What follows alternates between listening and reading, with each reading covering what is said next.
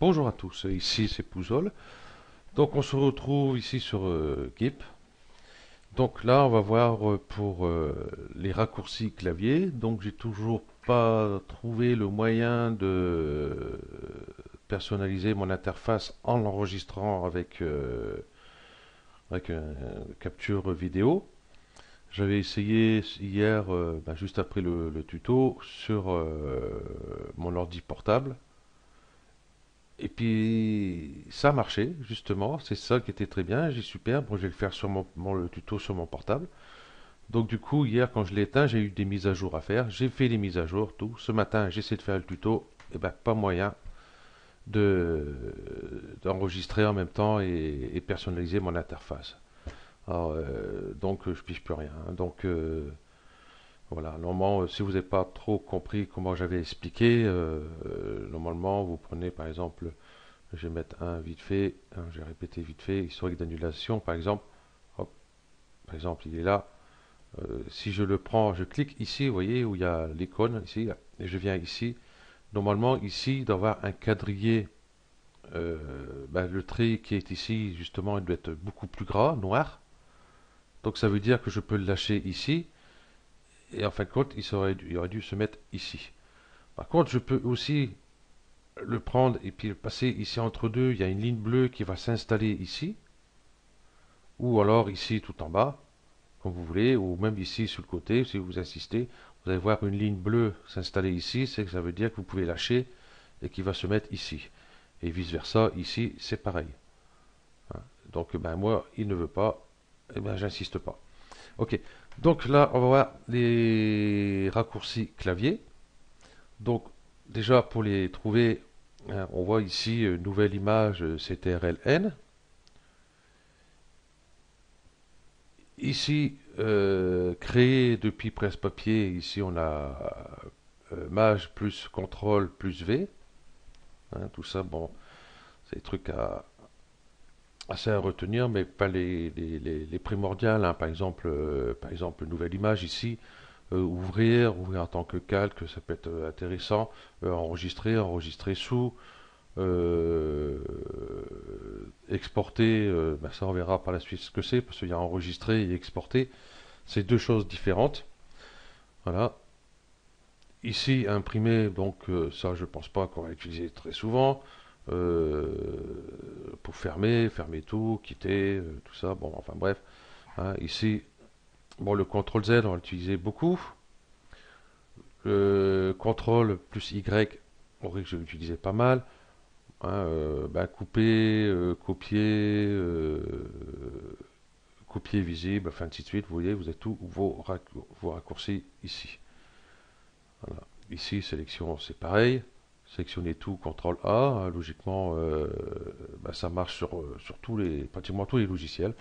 Je sais que sur Photoshop ça marche, sur Cinema 4D ça marche, bah, sur GIMP ici ça marche, puis les autres je sais plus. Bon, enfin bref. Voilà, inverser, ben, euh, CTRL I, hein, tout simplement. ok. Et on voit ici, surtout, par exemple ici, on voit que certains n'ont pas de raccourci. Ici, enregistrer une copie, euh, rétablir, euh, écraser, euh, tout ça. On peut mettre des... Comment Des raccourcis clavier, hein, justement, sur certains trucs. Donc, on va aller sur édition, on va voir ça de suite. On va aller sur préférences. Ici, sur préférences, on va aller sur interface. Donc ici, bon, si jamais vous avez GIP, il n'est pas en ici, vous voyez, vous avez la langue, vous pouvez mettre déjà la langue. déjà, ça, c'est fait. Activer les aperçus calques, tout ça, bon, on va pas y toucher. Ici, on va utiliser les raccourcis clavier dynamique. Bon, par défaut, il n'est pas coché. Donc, on va le cocher.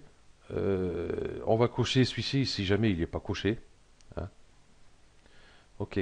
Donc, on va cliquer sur configurer les raccourcis clavier. OK. Et ici, bah, justement, allé sur le premier, tout simplement. Hein. Ici, je vois euh, créer un modèle désactivé. Euh, qu'est-ce qu'il y a encore euh, Ouvrir suivant l'emplacement, vous voyez, désactivé, c'est ce qu'on avait vu ici. Voilà. Euh, pour lequel que je vais faire, moi, qui serait peut-être intéressant de faire euh, euh, unité. Ouais, j'aurais dû prévoir ça. Bon, tant pis. On va rester dessus. Je vous ferai un exemple. Bon, je ne le garde, garderai pas. Donc, je viens ici. Donc, je suis bien ici sur Fichier. Je vais aller là. Et ici, euh, créer un modèle, ben justement, ben, il n'y est pas. Donc euh, je vais cliquer dessus. Ici, c'est marqué, euh, vous voyez, nouveau raccourci. Hein. Si je vais là, vous voyez, ça marque désactivé. Si je clique ici, nouveau raccourci. Donc je vais mettre un raccourci tout simple. Je vais mettre, ben, je vais profiter du C qui est là. On va voir si ça passe. Donc si je fais CTRL C, bon, ok, on voit qu'il est déjà pris.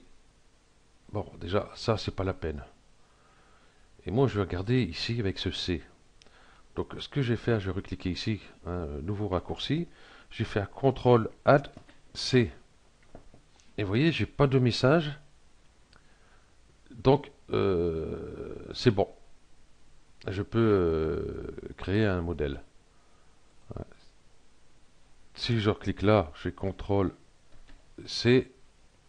Ouais, euh, rectification du raccourci clavier, voilà. Et il m'a mis ici CTRL C. Donc euh, pour le copier, ben, du coup, je vais être un peu embêté. Donc je vais pas enregistré les raccourcis clavier à fermeture ici. Je vais faire fermer. Voilà. Donc ça m'a pas enregistré. Je vais faire ça voilà. Je vais faire CTRL C. Ah ben voilà, mon CTRL C est foutu. Voilà, j'allais sur édition. Euh, j'ai fait une belle connerie. En pensant que en mettant CTRL C, il ne serait pas passé.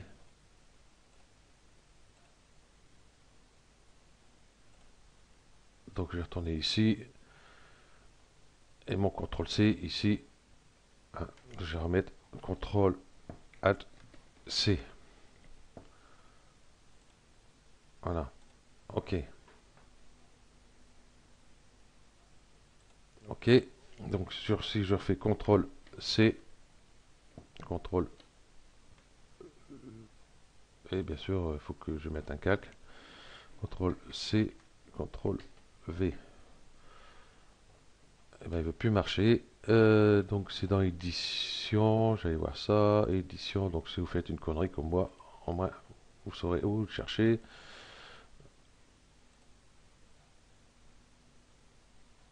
Euh, édition, édition, il est là. Voilà, copier et désactiver. Hop, je le remets. CTRL C. Ok. Donc voilà, j'ai récupéré mon CTRL C. On fait un test. CTRL C, CTRL V. OK. Donc j'ai récupéré. Donc voilà, vous euh, savez comment euh, faire des conneries comme moi déjà, c'est déjà pas mal. Euh, configurer des, raccourcis hein, sur voilà. Par exemple ici, fichier désactivé, je vais faire euh, CTRL Alt F. CTRL Alt F. Non. En fin de compte, ça n'a pas l'air de marcher. CTRL F. Ça marche pas. Non, bah, ça marche pas. Tiens, c'est bizarre. C'est dommage qu'on peut pas les nouveaux raccourcis clavier. Pourtant, ça serait bien. Bon, bah, il veut pas. Ok. Donc euh, on sait qu'ici euh, ça marche. Hein, CTRL ALT C, voilà, j'ai mis mes un raccourci clavier. Donc automatiquement vous voyez euh, si c'est déjà utilisé. Hein, par exemple ici si je fais CTRL V, vous voyez si je clique là, tout à l'heure c'est ce que j'ai fait au lieu de faire annuler, j'ai cliqué là. Euh, il m'a bien mis mon contrôle V où j'ai demandé, mais il m'annule euh, le, euh, le coller l'autre côté, quoi. Donc ça sert à rien. Donc je fais annuler, voilà. Ok. Donc voilà pour les raccourcis clavier. donc ici vous avez les raccourcis clavier aussi. Hein. Vous voyez, outil rectangle, le R, simple à retenir. Ellipse, le E. L'assaut, là c'est le F. Hein. donc voilà, facile à certains sont faciles à retenir. Bon, moi pour les tutos, c'est rare que je vais utiliser euh, les raccourcis clavier, hein, parce que je préfère euh, directement cliquer sur euh, ce que j'ai besoin ici.